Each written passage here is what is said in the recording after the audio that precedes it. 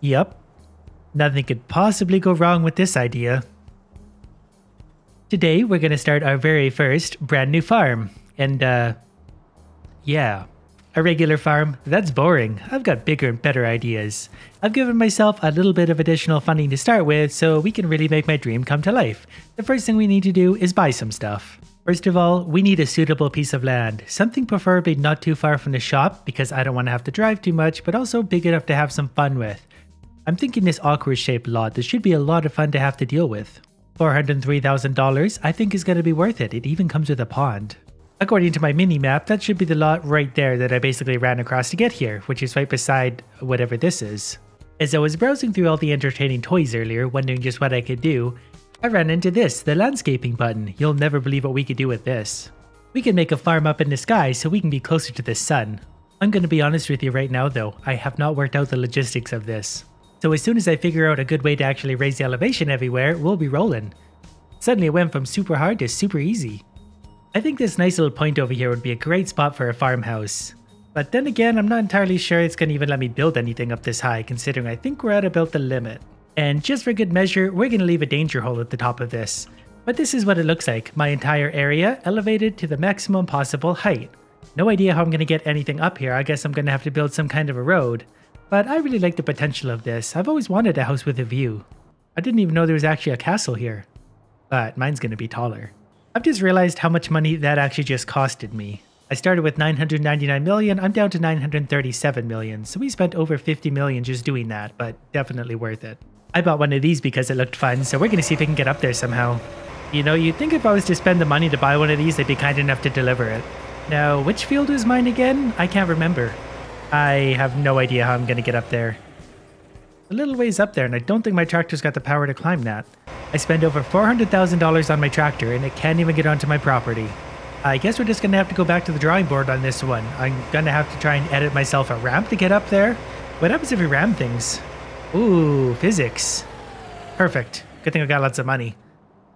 I think my strategy for this is going to be to try and build a ramp straight up one of these straight edges. That's going to be the simplest and easiest way to do it, but that's probably still going to make a pretty steep ramp considering how tall this is and how short of a distance we have to use. So I might have to ramp it around a corner and I can't even imagine how fun that's going to be. This already feels like a disaster, so we're just going to keep going with it and kind of hope for the best. It's not very easy to make like a single notch up or down, I could soften the ramp or the editor thing, but where's the fun in that?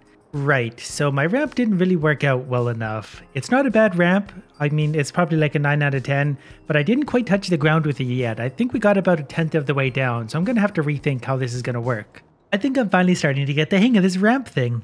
So we start there, we work our way up. Still not sure how well that's going to work, but uh, this is what we got so far. And look at that, we're almost at the top now. We've just got to make a 90 degree corner and then make our way up the rest of the death ramp. I think we could make it up that with maybe the right tractor. I expect nothing but good things from this point forward. You know what? Now that we're out of the landscaping tab, I really realized just how big some of these ramps and stuff are. I expected this to be an easy little transition at the beginning. This might be the hardest part. We're off to a good start. We can't even get onto our ramp. Maybe with just a little bit of... Yep, uh, I think we might actually have it here. I would be really surprised if this actually worked on the first try. Wow, I'm impressed. I guess I did pick the right tractor for the job. But given how uneven this ramp is, I might not make it. Then there were some sections like this that I couldn't quite perfect, but good enough. I think we're still trucking along here. Coming down to just a crawl. Not sure if we're going to be able to tow a trailer up this, but we'll cross that bridge when we get to it. At least I know the whole ramp thing is feasible. This one looks a little steep. Not sure if the tractor's going to do it. It still might actually. It's still going, and that's about the steepest spot. I'm just holding forward and hoping for the best. It made it. I would be so mad if this is actually as far as we got right now. I could probably wiggle out of this though and make it around. Yeah, there we go. Let's just take a moment to appreciate the view and how high up we are. Nothing but clear blue skies above us now. I've no idea if we're even able to do anything with this area, but we got it. We made it to the top. Now that we got all this out of the way, I should probably learn how to actually farm and start actually doing something with the area. But I won't lie to you, I am having a lot of fun just admiring the view everywhere and thinking about what I've accomplished. But now, the $70 million question. Can we do anything up there? Maybe if I just click a whole bunch, it'll let me do it eventually. Oh, I got one. Perfect. It's going there. They say it's more about the property than the house anyway, and this one's got a view, so I think it's going to be a hot commodity. I also want to get a regular tractor up there, maybe with a trailer behind it, because I feel like we're going to need a normal tractor and some stuff to actually farm there. We need to find one that I think is going to make it up. And I'm going to buy the most expensive one possible, like I always do, because I assume it's the best. Well, all right. I mean, more wheels mean more traction, right? So yeah, that's completely necessary for my sky farm. So as long as I can attach that to that, that is going to be a process to get up my ramp. But uh, you know what? I feel like my new tractor is up to the task. If you'll excuse me, car, I'm a little bit bigger than you and I'm in a hurry. I don't have time for your games. Well, now no one's going anywhere. I hope you're happy with yourself for single-handedly ruining this video. Doesn't everyone know I'm a farmer and farmers are allowed to do literally anything they want? Not the easiest maneuvering with a trailer this big, but uh, mostly the ramp is a straight shot, so once we get on there, I don't think it's going to be too bad. Oh, this thing works good on the ramp so far. Hit it with a little bit of momentum and it's unstoppable. Needs to get more of those wheels back on the ground. I think I see the problem though. I'm pulling a 40 foot trailer. We're officially on the ramp with every piece of us. So now hopefully we can just climb all the way up without any further issue. Not a lot of wiggle room at this point for error. It's a very narrow path and I've kind of got to wiggle this back and forth to make it come up the ramp. Because it's so damn long, it just gets hung up on everything. Right, this next hill is going to be about the worst of them. If I can make it up this, everything after that is easy, but so far it's been a struggle, and this one is quite a bit more steep, so yeah. Now, I am going to smooth that ramp out just a little bit. I know where the bad spot's at now, and you know this had to happen at some point during the video. I'm going to see if I can land in the lake down below. That should cushion the blow enough so that it doesn't hurt the tractor too bad, because I really like this one. I paid a lot of money for it, and it gets the job done. Here we go. Ooh, It's uh, diving off a little bit harder than I thought it might. No, it's gonna land on its wheels though. Just like a cat. Not drive too deeply into the water. That's your main concern out of everything that has happened. It always looks so intimidating when you're at the bottom, but it's really not that bad once you just get onto it. I think this part is not going to go very well. I have no idea what happened here or why I didn't notice it, but it's going to be pretty hard to maneuver around this 45 degree bend.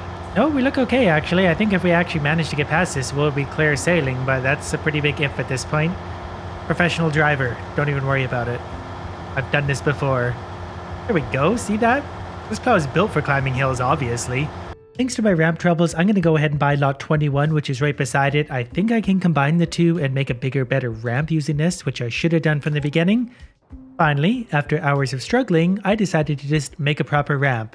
Currently, this is what it looks like, a nice even slope for once. It should be perfectly consistent all the way down. I did move it back and forth a little bit, but the slope itself should be very consistent. I just got to smooth it out a little bit, which is the only part that could screw up now, and I should have a very, very easy access to the top. The smoothing went almost too perfectly. There was only one spot where it kind of screwed up, which was right here. Now that we have a beautiful superhighway to the top of my sky farm, it's time to go and find out whatever happened to my tractor with the plow. Oh, I guess it landed sunny side up down here. That's convenient. I think the worst part now is just going to be fitting everything between the trees, and that shouldn't be the end of the world unless you're stupid like me. Yeah, this seems a little bit easier, doesn't it? With the ramp like this, I can just hit cruise control and it'll drive itself all the way up. I don't have to maneuver, I don't have to think, I don't have to wiggle, just straight up. This is it. Officially, our first attachment all the way to the top of the farm, and we can actually start farming after six hours of effort. So we're just going to work around the perimeter of this, give ourselves some guidelines to work with, and then we're gonna hire some worker to finish this all for us because this is really boring and really dangerous. If anyone's gonna fall off the edge, it's gonna be the hired help. Speaking of which, how does this thing handle the areas over the edge? Not that good. Okay, noted. Well, that's a problem for the hired help. I am to stick a little bit further from the edge from here on out, that way they don't do that and lose a bunch of my tractors over the edge. I couldn't care less about their lives, but I don't want to have to replace tractors every day. So far, this is working out pretty nicely. With all the extra up close sun the crops are going to get, they're going to be 10 times healthier than everyone else's. Right, well, since it's getting dark and I'm going to have trouble seeing soon, I'm going to see if I can sleep for the night and we'll come back out and hit it in the morning to hopefully get something accomplished finally. Just what I wanted, a rainy day to turn my fields into mud. Hilariously, for some reason, I cannot hire any workers to do the work for me, so I'm going to have to do this one all manually, I think I may have to detach my plow. It seems to be fighting me for dominance right now because it wants to go in the murder hole. I'm trying not to let it do that right now because I really don't want to go get another one. I guess I could lift it up. Oh, there we go. Never mind. There we have it. My little field is plowed to about my liking. There's a few spots I'm going to run around and grab with the smaller tractor, but then I'm going to start planting something. Don't know what yet. It's actually really nice and quiet when you're inside the tractor. Also, I think it's about time I got myself some kind of shed to store all my machines and equipment in, so I'm just going to try and snap this basically wherever I can because the game doesn't love being up here all that much. Fine, it's a little unconventional, but we're going to put our storage in the middle of the field because that's the only place I can put it. Our next step is to buy some of the finest potato technology available to man. We're going to buy this one because apparently it's better. This is how we plant potatoes, and you can't have a farm without potatoes. And since I was too lazy to drive any of my tractors down from the up above, I just bought new ones. Hey look, you can see my plow from here.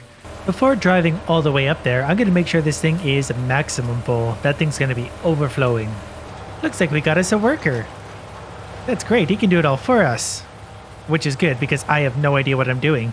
That looks kind of nice. I had no idea potatoes looked like that. Cool. Well, I'm going to go get another one of whatever that is and do the same thing. That way I can have two workers working. I just realized I probably should have spent at least five minutes to sit and watch my worker once I turned him loose on my field because there's a lot of steep edges around everywhere. So is he up here somewhere? I think I see him over there. He seems to be moving still, so we're okay. He did not die. And we now have whoever that is doing whatever that is with whatever this is. Now that we have two of them going up here, I'm going to take some time to reorganize all my other stuff under that shelter. Now for the risky operation of trying to rescue this plow. If things aren't going my way, I'm just going to push it over and say goodbye because the field's already plowed. What would I need a plow for? Just have to get a little bit of a run at it. I'm going to hit it in the center so it actually pops out and doesn't go further in. Or, you know, that. I could almost drag it out like that. Well, maybe not now. I mean, I could try. Don't worry, plow, I'm not giving up on you yet. Now, we just real carefully kind of... Yep. Got it. Organization at its finest. I'm a little concerned how they both stopped. They clearly didn't run out of seeds, they just kind of ran into each other because this guy's not here anymore. Where did this guy go? He's not done yet, or is he? Maybe he just hit a point where he thought he was done. Alright, well we're gonna drive this way and hire a new worker apparently then because they're dumb. Well, since we're not allowed to sleep, we might as well go get the next step of this operation and have it ready for when those guys are done. Whatever this is appears to be the last piece of this puzzle. This is what harvests the potatoes. This is quite a contraption. Hopefully it's as fast as it looks. Definitely not the quickest of vehicles for climbing hills. On the bright side, by the time I actually get this thing up to my field, the crop's going to be ready to go. Or maybe not. Hey look, the potatoes are actually growing. I turned up the time scale thing, so we should have potatoes sooner than later. I'm just going to park this here for now. That when we're ready to harvest, we can just harvest without driving over anything. Well, we literally have that same problem again. This guy decided he didn't want to work anymore, and this guy crashed into him and then stopped. It's also apparently getting very late, so I'm going to walk over to my house, hopefully without falling in the murder hole that's somewhere out here, and we're going to sleep till morning, and then hopefully the potatoes are done. Oh, right. I forgot about weeds and stuff. We're going to have to do something about them. They didn't even plant potatoes over here. Idiots. What am I even paying them for? Just got to go nice and careful so as not to destroy the potatoes. I think this adorable little tractor with tiny wheels is going to be a little bit better suited for moving around the field and not killing all the potatoes. It's also very fast, which I really like. Wait a sec. You see what I see? We gotta go check this out. Look at this idiot. He's falling in the murder hole. The other one probably already went in there. Great, I'm collecting helpers now. Wonder how many I can fit in the hole before the game crashes. Yeah, you know what? I think you're doing farming wrong. Well, this is embarrassing. Caught him in the act. Well, the murder hole worked as intended, and I'm amazed that guy's able to hang on there for as long as he is. Unfortunately, there's only one way to deal with subpar employees. That's to finish them off. Thing is, he's already halfway in the hole. I can't help but... Okay, I guess we're all going in the hole now, too.